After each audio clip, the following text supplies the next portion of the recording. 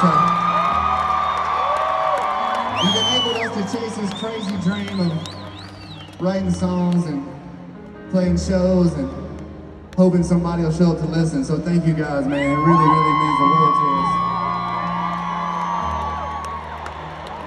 We spent a lot of this afternoon thinking about the last 10 years and what this night right here means to us. It's a closing of an incredible, incredible chapter for us, and it's very exciting for us to look at what's ahead, see what's next, and the next chapter ahead is very exciting, but we want to celebrate this chapter with you guys.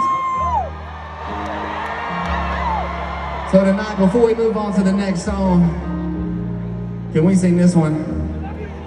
Can we sing a chorus one more time of this song together? Is that cool, Minnesota? This will be the last time BK and I get to hear you guys sing it, so I want you to see how loud you guys can sing this one, alright?